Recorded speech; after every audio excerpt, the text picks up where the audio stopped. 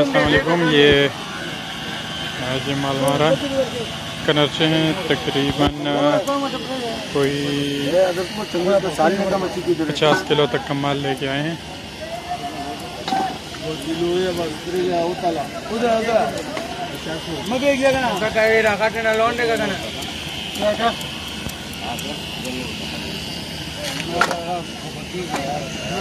दो किलो